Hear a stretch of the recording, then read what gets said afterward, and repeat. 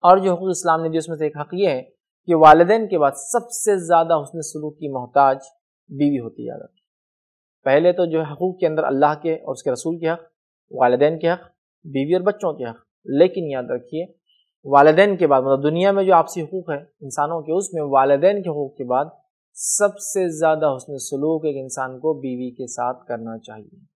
سب سے زیادہ حسن سلوک کی محتاج بیوی ہوتی یاد رکھیے کیوں تو والدین کے بعد سب سے زیادہ حسن سلوک کی حقدار بیوی ہے، اس تعلق سے بہت ساری حدیثیں آتی ہیں۔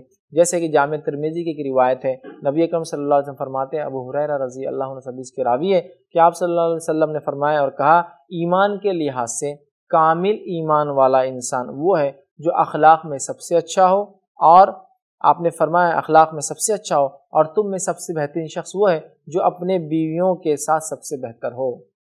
ایمان میں کامل ایمان والا وہ ہے جس کے اخلاق سب سے اچھے ہو اور جس کا سلوک اپنے بیوی کے ساتھ سب سے اچھا ہو۔ ٹھیک؟ اور ان میں بھی آپ نے فرمایا، اور ان میں بھی بہتر شخص وہ ہے، یا تم میں سے بہتر شخص وہ ہے جو اپنے بیوی کے ساتھ اچھا سلوک کرتا ہو۔ تو دیکھیے، حسن سلوک کی بات آ گئی ہے اس حدیث کے اندر۔ حسن سلوک بڑی اہم چیز ہے، یاد رکھیے۔ اور والدین کے بعد بیوی سب سے زیادہ مستحق ہے حسن سلوک کی، اس لیے کہ اچھا سلوک اچھے اخلاق والا جو ہے، کامل ایمان والا ہے حدیث میں آ گیا۔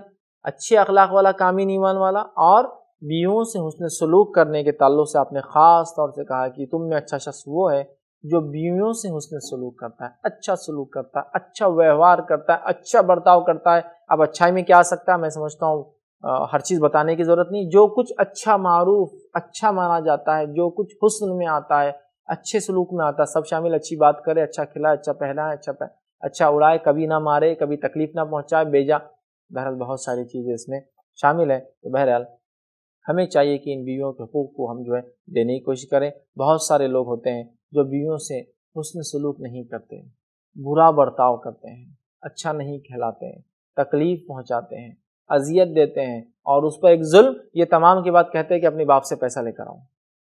یہ بھی بہت عام ہو چکا ہے۔ کیسی عجیب بات ہے کہ جو شریعت یہ کہہ رہی ہے کہ اس کو دو، اس کا کھانا پلانا تمہارے ذمے ہے اور ایک مرد جس کو خوام کہا چکے کما کر لاتا ہے، وہ کہہ رہا ہے اپنی بیوی سے اپنے باپ کے پاس سے لاؤ۔ میں کہتا ہوں بہت سارے ایسے شوہر ہوتے ہیں جو اپنے بیوی کو اے ٹی ایم مشین سمجھ لیتے ہیں۔ پھر شادی کر لیا، بس جاب آپ کے گھر، یہ لاؤ، جاب آپ کے گھر، وہ لاؤ، جاؤ، یہ کرو، پیسہ لاؤ۔ یاد رکھیے، حسن سلوک، آپ کو ان سے حسن سلوک کرنا ہے۔ نہ کہ آپ ان سے حسن سلوک کی گمان کرے کہ تمہارے والد کے پاس سے فلاں لاؤ، تمہارے گھر سے فلاں لاؤ۔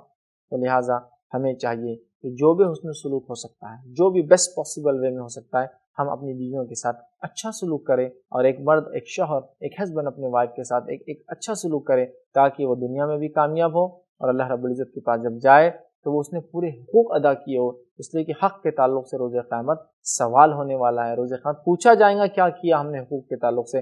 تو لہٰذا ہم سب کوشش کریں کہ ایک دوسرے کے ہم حق ادا کریں۔ بہرحال